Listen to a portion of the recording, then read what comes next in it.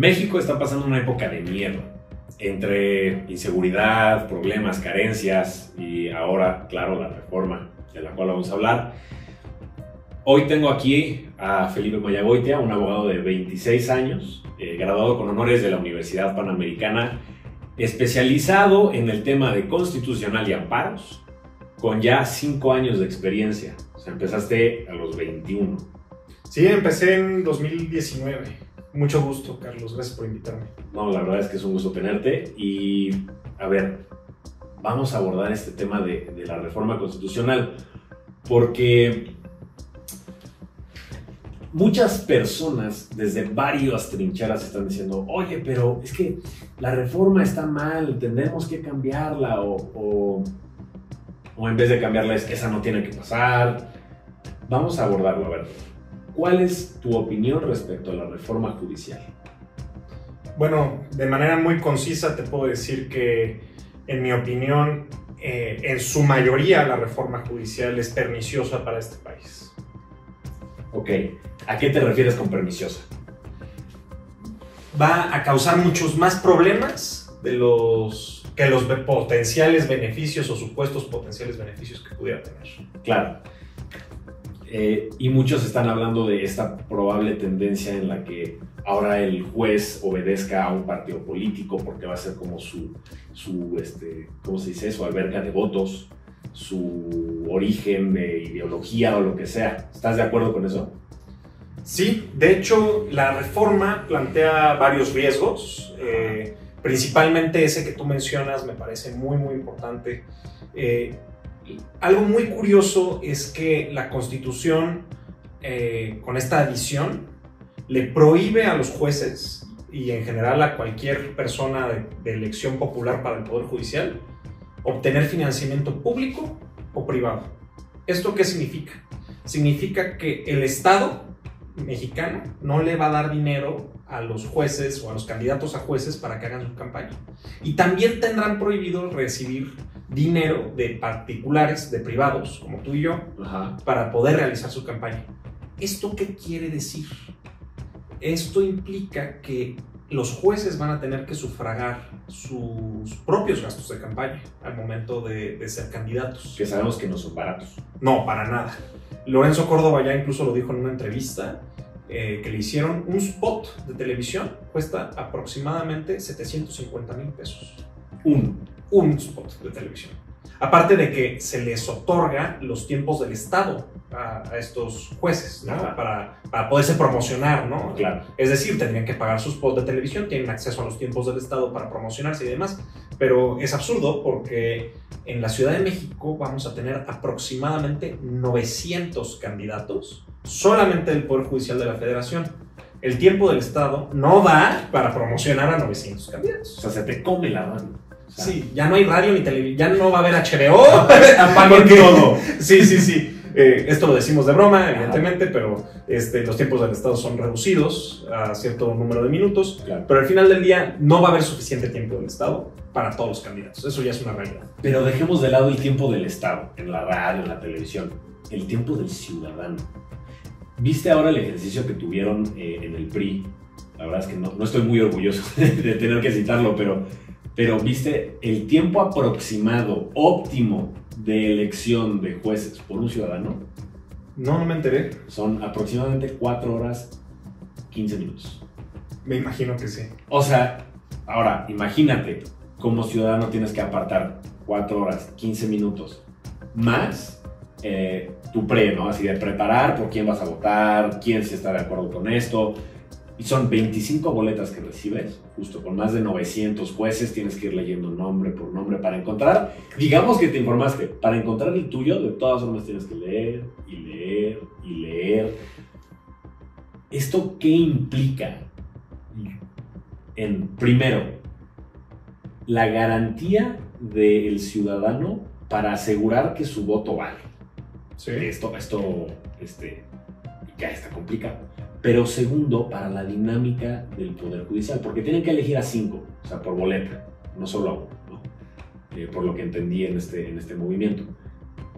¿Qué implicaría para el Poder Judicial tener que esperar a que todas las boletas salgan, a que todo surja y además, obviamente, a pues, la limitación de tanto el ciudadano como del Estado para ir, presentar, votar y actuar ya dentro del Poder Judicial. O sea, esto es un proceso larguísimo.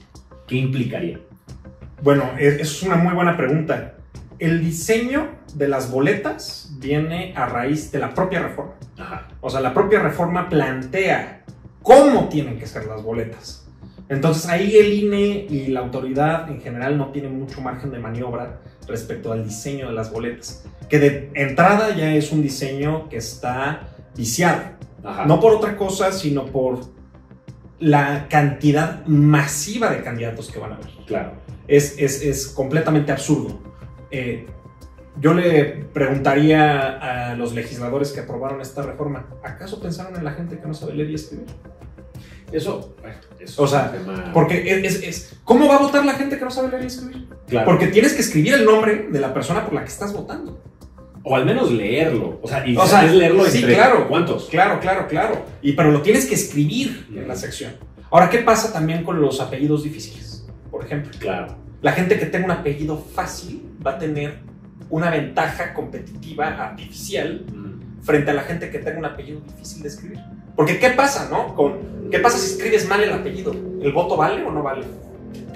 Esa está buenísima. O sea, O sea, ¿qué pasa si sí, de verdad? Porque va a haber muchos. Por ejemplo, puede haber muchos Juanes en la elección. Juan López, Juan eh, Beltrán, Juan eh, eh, Arton, Juan Abascal. Puede haber muchos Juanes. Pero ¿qué pasa si te encuentras con alguien que tiene un apellido difícil? O homónimos. Un Juan López y otro Juan López. Exacto.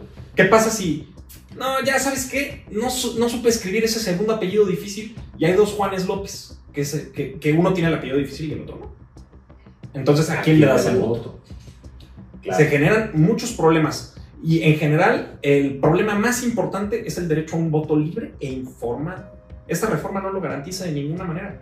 Porque Vamos si no nos podemos informar... Vamos a meternos por ahí. Es libre e informado. Correcto. ¿Cómo garantizaría la libertad votar por los jueces? O sea, o cómo más bien, ¿cómo garantizas que vote libremente el ciudadano por los jueces?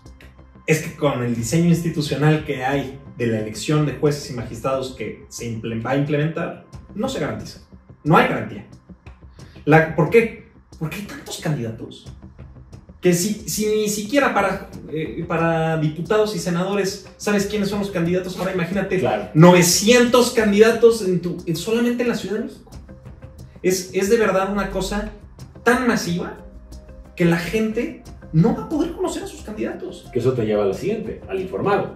Exacto. ¿Cómo te informas? O sea, una boleta con 300, 200 nombres, 150 nombres, es incapaz una persona de informarse suficiente de 7 como para informarse de 100, 150, 200 personas. Más bien de 900. Es que yo, yo hablo por boleta, pues estamos hablando de 25 boletas. O sea, tú recibes 20, o sea, es un bunch así, Sí, sí, que dices, a ver, pero, pero voy a votar, ¿no? no voy a leer una enciclopedia de nombres. Y, y eso, ¿qué, gar- qué garantía le puede dar al ciudadano de que efectivamente está votando por el juez más capaz? Ahora, existe eh, eh, un tema interesante que, me- si me permites, lo retomo del inicio de la entrevista, que es el financiamiento. Ajá. Si una persona no se puede dar a conocer al electorado, por una cuestión, una barrera muy evidente que es el dinero, Claro. ¿cómo lo va a hacer? ¿Qué esquemas de financiamiento va a buscar esa persona para, para poderse dar a conocer al electorado? El primero y el más evidente tal vez sea un crédito, ir al banco, pedir un crédito y ya está. ¿Quién se va a querer endeudar para poder ver si a lo mejor consigue el encargo? Claro. Ahora, deja tú eso. Eh, la prohibición del, del financiamiento público y privado orilla a que esta gente, estos candidatos, empiecen a buscar financiamiento de otros medios, Sí. inclusive del crimen organizado, Esa, esa. o medios, o medios, o medios que obedezcan a intereses partidistas, económicos, que Particulares incluso. particulares incluso, que se enmascaren, que, se, que, que todo esto sea obviamente un esquema secreto, ¿no? Ajá.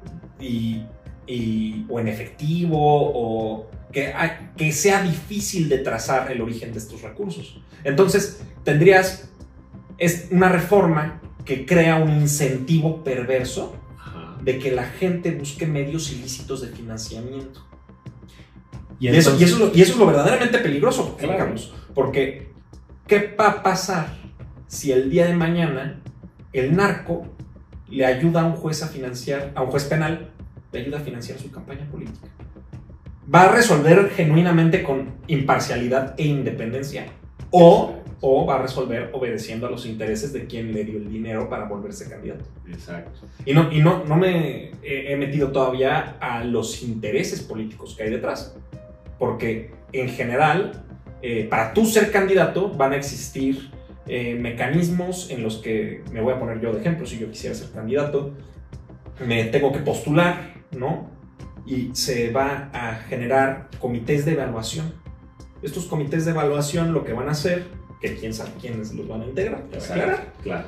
Se supone que el Poder Ejecutivo, el Legislativo y el Judicial van a tener un comité de evaluación.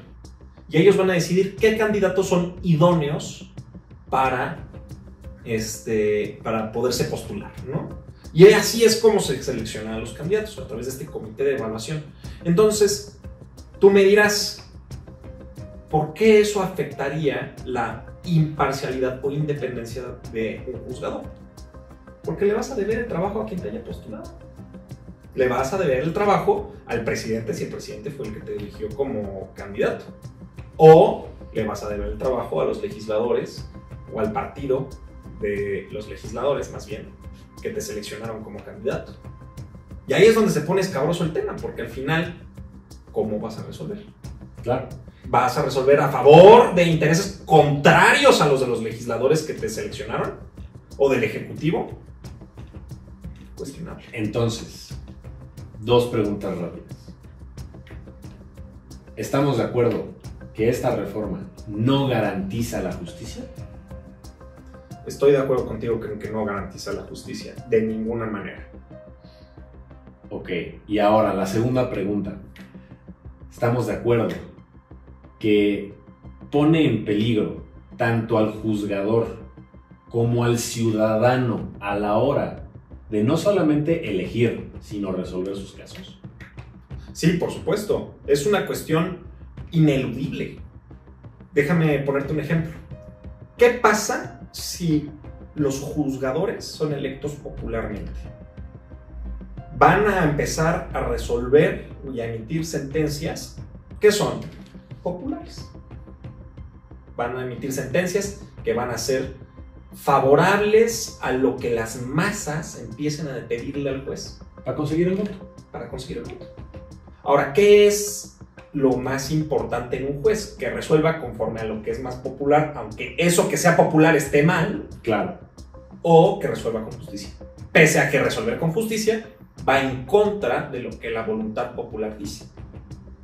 Porque no todo lo que dice la voluntad popular está bien. Un gran ejemplo son los nazis los nazis, todo mundo amaba a Hitler y todo mundo decía que todo lo que estaban haciendo los nazis estaba perfecto. ¿Eso lo hacía que estuviera bien? No. Por supuesto que no, eso es una falacia. Algo interesante que pasa con esta reforma, y te lo voy a poner con un ejemplo muy concreto con el que yo creo que todos nos vamos a poder relacionar. ¿Qué pasa con los juicios penales? Y con el morbo que hay detrás de los juicios y los procesos penales. Mm. Una sentencia popular sería meter a la cárcel a la persona, al indiciado. Sí, claro. ¿Por qué? Porque se va a poder vender como estoy metiendo a la cárcel a los delincuentes. Y se eliminaría incluso la presunción de inocencia con tal de ganar popularidad. Es correcto. Entonces, ¿qué pasa si la persona que fue metida a la cárcel era inocente? Adiós presunción de inocencia. Entonces, cualquiera de ustedes que esté viendo esta entrevista, si un día se ven sujetos a un proceso penal, Dios no lo quiera, pues se enfrentarían precisamente a una presunción de culpabilidad originada en que las masas quieren ver a gente entrar a la cárcel por un sentimiento de justicia aparente. Porque si eres inocente y te meten a la cárcel, se va a vender con que te metieron como criminal. Y eso va a ser popular. En cambio, si el juez empieza a emitir sentencias en las que dice, pues sabes qué, Ministerio Público, eso es muy importante, el Ministerio Público es a quien le toca probar que una persona es culpable. Y el Ministerio Público, mucho ojo, no depende del Poder Judicial. El Ministerio Público depende de las fiscalías. Y las fiscalías son completamente aparte del Poder Judicial. La razón por la que muchos delincuentes salen libres es porque el Ministerio Público no hace bien su trabajo. Por errores de proceso. Por errores de proceso, errores de detención, errores de, de procesamiento de evidencia. ¿Y la reforma aborda esto de alguna forma? Absolutamente no. La reforma no menciona ni una vez el Ministerio Público. Pero ni, ni una, ni por accidente lo menciona. Sí, no, no, no, no cambia un solo aspecto del Ministerio Público. O sea, está más bien en contra de los jueces más que a favor de la justicia. Es correcto. Porque gran parte de la... de- y, y esto es muy importante para entender eh, un poquito el contexto de esta reforma, ¿no? El contexto social. La razón por la que mucha gente piensa que estaría bien reformar al Poder Judicial de esta manera es porque confunden eh, quién es el que ejerce las, eh, las funciones de investigación y acusación. Porque claro, la gente de a pie en el país, su interacción con la justicia es con el juez cívico, Mm. es con el Ministerio Público, a lo mejor con los jueces civiles del orden común. Por el orden común me refiero a los jueces de las entidades federativas, no los jueces federales. Claro. Eh, a lo mejor ese es el acercamiento más real que tiene la gente con el poder, con la justicia, no con el poder judicial, con la justicia. Pero sorpresa, el Ministerio Público no es poder judicial, el juez cívico no es poder judicial. Y eso es algo muy delicado. Porque la gente dice, es que salen los delincuentes. Pues es que, al que le toca investigar y perseguir el delito no es al juez, es al Ministerio Público. Y no está haciendo bien su trabajo. No refuerza ni carpetas de investigación, no ayuda al proceso, no ayuda a que el juez tenga más fácil el trabajo y nada más le complica la vida al ciudadano. Tú puedes ver las audiencias, son todas las audiencias eh, eh, eh, penales, son públicas, casi todas. Tú te metes a una audiencia penal y el Ministerio Público se lo va a pasar leyendo. ¿Eso qué te dice? Uf, no dudo que haya ministerios públicos que sean muy capaces y muy buenos, pero esa no es la regla general. Y están atacando al Poder Judicial por la chamba de otra persona. Y eso es algo muy delicado porque al final el Poder Judicial es el que se encarga de resolver sobre la culpabilidad o inocencia de la gente. Y en este caso, si yo como juez me ve- veo obligado a resolver conforme a lo que digan las masas, no voy a emitir sentencias de absolución. Voy a emitir lo que es, voy a emitir condenas, porque eso, eso vende más. Y vamos a, a- a cambiar un poco la, la perspectiva. Claro. Ya sabemos que pasó esta reforma, ya sabemos que está en el diario oficial de la federación, aunque como 17 jueces ya ordenaron bajarla, no la van a bajar, sabemos que eso va a estar un poco complicado. Pero entonces, ¿cuál sería, digamos, el proceso que podría suceder para que la reforma se pudiera detener? Porque hay un momento que todavía Norma Piña menciona, hay herramientas legales que todavía pueden usarse para detener la reforma. ¿Cuáles ves tú que son estas herramientas? Esa es una pregunta interesante desde el punto de vista de la teoría constitucional. Eh, en mi opinión, existen tres vías en las que se pudiera controvertir la constitucionalidad de esta reforma. Eh, tradicionalmente en México, y permíteme empezar con esto, eh, en México desde los, el siglo pasado eh, se ha mantenido una postura muy rígida frente al control constitucional de reformas o adiciones a la Constitución. Es decir, la Corte de, de los 60, 70, 80, incluso la, más, la, la Corte de este siglo, ha sido renuente a realizar control constitucional de las reformas. Entonces, de alguna manera se ha construido la postura de que una reforma o adición a la Constitución es inatacable. Eso puede cambiar. Y esa, es ahí donde está el punto fin. Existen en nuestra Constitución tres medios de control constitucional. La controversia constitucional, la acción de inconstitucionalidad y el juicio de amparo. La primera de ellas no la voy a abordar mucho porque el, el objeto de ese juicio es un tema de invasión de competencias. eh, lo cual es difícil de plantear ¿no? frente a, a, a, la reforma judicial, considerando que la gran mayoría de las legislaturas lo aprobaron. Entonces sería difícil argumentar una invasión competencial cuando las propias legislaturas adoptaron esta, esta reforma, ¿no? Claro. Eh, eh, donde se pone realmente interesante es en la controversia, en la, perdóname, en la acción de inconstitucionalidad y en el juicio de amparo. Es ahí donde se pone realmente interesante. Eh, la acción de inconstitucionalidad es un juicio que se promueve por alguno de los sujetos legitimados para ello, que lo establece la propia, la propia Constitución, quienes son los que lo pueden iniciar. Es un juicio en el que se realiza un control de constitucionalidad sobre un acto concreto de autoridad. Uh -huh. eh, esto nos resuelve el Pleno de la Suprema Corte de Justicia y, como te lo mencioné, solamente algunos sujetos lo pueden interponer. Tú y yo no lo podemos hacer como gobernados. Claro. Eh, un ejemplo es una minoría legislativa, el 33% de alguna de las cámaras lo puede promover. Y la CNDH lo puede promover, eh, no lo va a hacer, porque ya salieron a decir que no lo van a hacer. Claro. Por razones bastante obvias y de política. ¿no? Exacto. Eh, pero aquí es donde se pone interesante. Los partidos políticos con registro en el INE pueden ejercer una acción de inconstitucionalidad sobre leyes o actos de, en materia electoral. Ajá. Y, y, esto es lo, lo, verdaderamente interesante, porque la, los partidos políticos eh, pueden argumentar que la reforma judicial efectivamente es en materia electoral. Ajá. ¿Por qué? Porque le están dando atribuciones al INE para organizar las elecciones de, de los jueces, porque básicamente las elecciones de jueces son un tema electoral.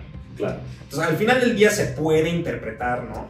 que, que, los partidos políticos tienen legitimación para, para, impugnar mediante una acción de inconstitucionalidad la, la reforma judicial, ¿no? Aparte de que eh, eh, esto afecta claramente la división de poderes. Y ahí yo pondría un, un pin, ¿no? Porque ahorita el INE se ha negado terminantemente un poco al rollo este, de diálogo incluso. Podemos ver ahí las sesiones en vivo, son públicas las sesiones del INE también, la, la mayoría, en donde parece que están como un poco alineados, un poco muy alineados al oficialismo. ¿no? Entonces ahí no afecta esto para la acción de inconstitucionalidad.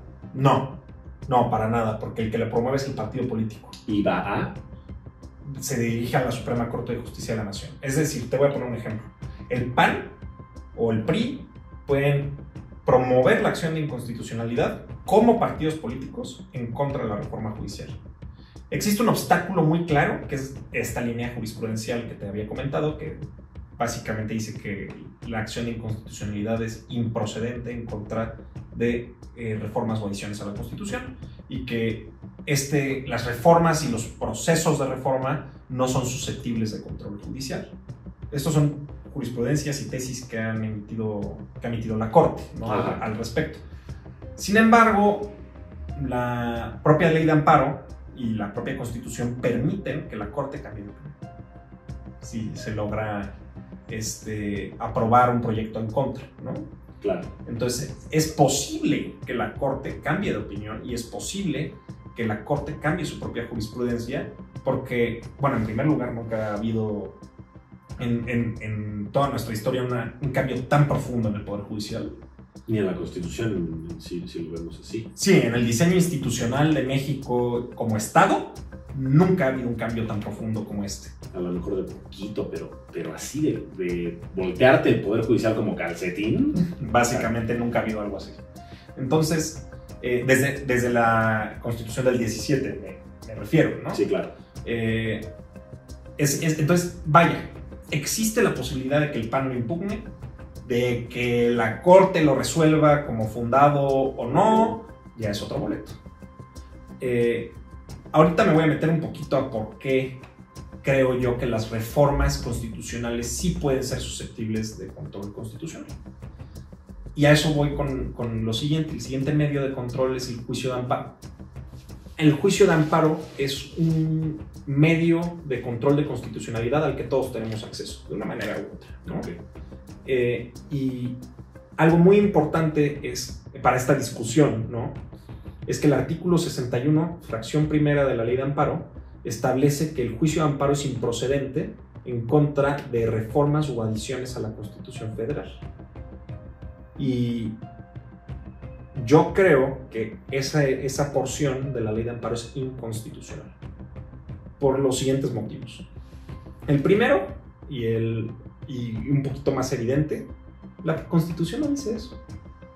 La ley de amparo es una ley Mm. que está sometida a la Constitución. Y la, la Constitución no prohíbe el, la- el- la- el juicio de amparo en contra de reformas o adiciones a la Constitución. Y eso es algo bien interesante. Esa inclusión a la ley de amparo de 2013 fue realizada para ser consistentes con la tradición jurisprudencial de la Corte hasta ese momento. Pero en realidad, esa, esa porción normativa establece una barrera de acceso a la justicia. Entonces, ¿qué es lo que hace ese, ese artículo? Eh, y la tradición jurisprudencial de la Corte hasta el momento. Lo que hace es que las reformas o adiciones a la Constitución se encuentran blindadas de control judicial y de control constitucional. Y eso es algo bien peligroso, porque si los actos del el poder eh, legislativo, en este caso muy concreto, una reforma a la, a la- a la Constitución, se encuentran blindados de control constitucional, eso significa que entonces la voluntad del legislador está por encima de la Constitución. Y eso es algo que es bien grave. Y mira, yo no tengo problema con que se reforme la Constitución en aspectos que realmente no importan tanto. Si quieres cambiar el número de ministros de 11 a 9, no importa. Está bien No es fundamental. no es fundamental. Oye, que eh, eh, el plazo que tiene el Poder Ejecutivo para enviar una iniciativa de reforma lo reducimos cinco días. Eso no es tan relevante. Oye, los derechos fundamentales. Los derechos fundamentales yo digo que sí son más constitucionales que otras porciones de la Constitución. Los derechos fundamentales son mucho más importantes que el número de ministros. Y regresando al tema de interés jurídico, básicamente cualquier ciudadano tendría interés jurídico en esta reforma, ¿no?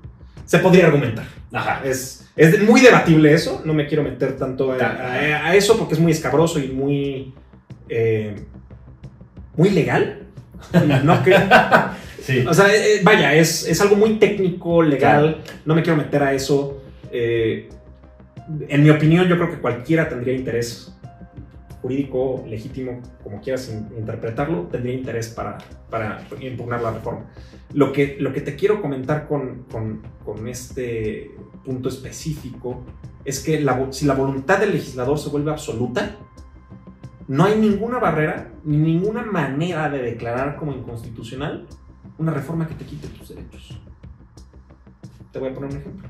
El día de mañana, ¿qué pasa si al poder reformador de la Constitución se le ocurre reinstaurar la pena de muerte y meter pena de muerte a aquel que cometa fraude fiscal?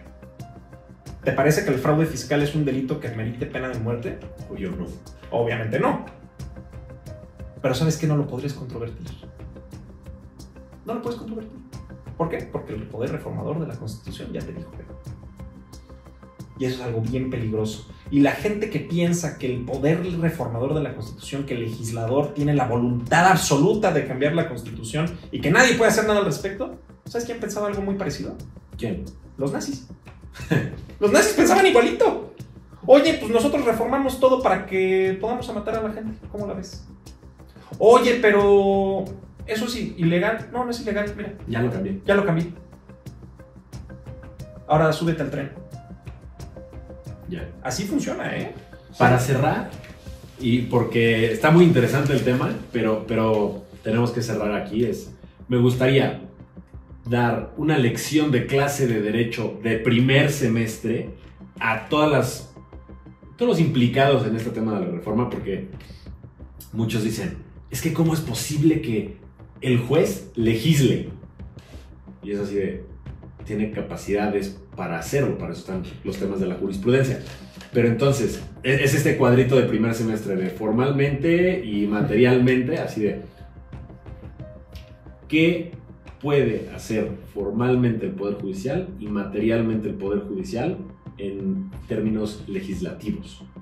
En términos legislativos, el juez no puede legislar.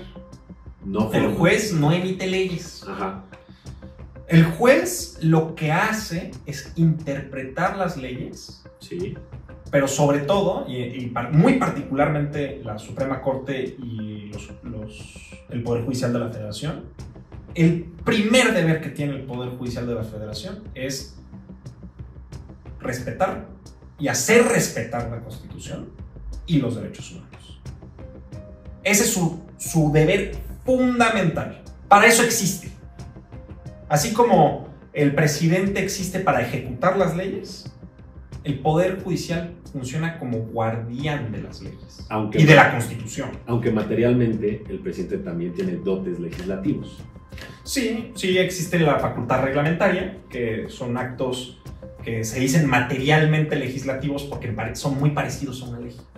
Claro. Algo parecido que hacen los, los jueces es eh, la emisión de jurisprudencia o la resolución de casos en los que se declara la inconstitucionalidad general de una ley, por ejemplo, una acción de inconstitucionalidad. Ahí lo que sucede es que se sustrae del sistema jurídico una norma o un acto que se considera inconstitucional. Y la jurisprudencia lo que hace es que pone las reglas de cómo se debe interpretar la ley en un sentido u otro.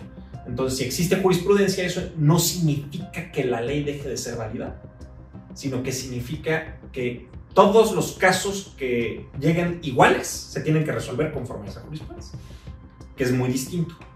Eh, los jueces que están eh, eh, frenando de alguna manera u otra esta reforma judicial no están legislando, ¿Qué están haciendo? están emitiendo una cosa que se llama medida cautelar. Una medida cautelar tiene el objeto de preservar el juicio en lo que se decide si son peras o son manzanas. Ajá. Particularmente las medidas cautelares hay muchas, ¿no? pero en el amparo es la suspensión. La suspensión es una medida. La suspensión no es un amparo. Un amparo se otorga hasta el final del juicio. Es una medida que se dicta para paralizar los efectos de un acto de autoridad y mantener las cosas en el estado en el que estaban antes de la violación a derechos humanos o a la Constitución. Entonces, sentando eso de base, cuando dictan una suspensión respecto del proceso legislativo, por ejemplo, que sí sucedió, eh, las personas que promovieron el juicio de amparo consideraron que el proceso legislativo estaba siendo violatorio de sus derechos. Y por lo tanto, para efecto de ver si efectivamente había habido violaciones a derechos o no, se dictaron estas suspensiones. ¿Cuál era el efecto? Que se frenara el proceso legislativo. Cosa que No no sucedió. sucedió. Y entonces, Y cabe aclarar que violar una suspensión es un delito en términos de la ley de amparo. La ley de amparo dice que el desacato a una suspensión es un delito. cosa que ellos se regocijaban en decir, no, no, no, estamos haciéndolo todo conforme a proceso, ¿no? Que es una mentira. que es una mentira. Y es, y es una grave mentira no tanto por el tema de la suspensión. Asumamos que las suspensiones no existían. Todo el proceso legislativo de la reforma judicial estuvo plagado de irregularidades. Y permíteme ponerte un ejemplo muy sencillo. Por favor. Cuando el- la Cámara de Diputados sesiona en el recinto legislativo, ellos tienen un sistema electrónico que permite certificar de manera muy fácil que haya quórum. Es decir, que el número necesario de legisladores que debe de haber para que puedan sesionar válidamente, sí esté ahí. Y certifica no solamente el pase de lista o lo que tú quieras, sino que también certifica los votos. Es decir, que la persona que está emitiendo el voto efectivamente sea el legislador y no otra persona. ¿No? Sí. Ahora, el, ha habido mucho revuelo respecto al cambio del recinto, porque la Cámara de Diputados no sesionó la reforma adentro de, de San Lázaro, lo sesionó en un deportivo. Y la- el propio reglamento de la Cámara de Diputados establece que el cambio de recinto sí se puede realizar. Sí, y claro. efectivamente se ha realizado en muchas Varias ocasiones. ocasiones. Lo que es muy delicado es que el recinto en donde se vaya a realizar la sesión cuente con las garantías suficientes de que, aún sin el sistema, sí se va a poder certificar el quórum y sí se va a poder certificar los votos. Ahora, son 500 diputados. Obviamente es muy difícil tener control sobre quién es quién y demás, sobre todo porque todos eran nuevos. Claro. Ahora, ¿qué métodos existen para que yo pueda saber si hubo quórum? Pase de lista. Oigan, señores diputados, pasen a la mesa directiva y frente al- al- a los integrantes de la mesa directiva pongan su firma al lado de su nombre para certificar que son ustedes y, y certificar que efectivamente hay quórum. Sí. Tú ves la sesión, la, la sesión, que es pública, todos ustedes pueden ver eh, en, en YouTube o en el canal del Congreso la sesión. Nunca certificaron quórum, nunca hubo pase de lista y hubo muchos legisladores que se quejaron de que en el lugar del legislador había un chofer. Claro, que eso era lo que te iba a decir. Muchos decían, no era legislador, era alguien más que calentó la silla y a la hora de votar, pues como no regresó, votó a favor. Es correcto. Entonces, no hay garantía de que la votación haya sido correcta. No hay garantía de que los senadores que estuvieron, que los diputados, perdóname, que estuvieron ahí, efectivamente eran quienes decían ser. Claro. Y en tercer lugar, jamás hubo garantía tampoco de que el número de diputados que debía haber efectivamente estuvo ahí. Claro. Entonces, es una, una violación al proceso legislativo gravísima. Y otra muy importante, su propio reglamento. Es que hasta es insulto en la cara de los mexicanos, ¿no? Porque dicen, es que como ya nos apoyó la mayoría, ya podemos hacer lo que queramos. No. No. Y es que aquí es donde es importante recordar que sí, la ley es la ley y se tiene que cumplir porque la ley tiene una razón de ser, existe por algo.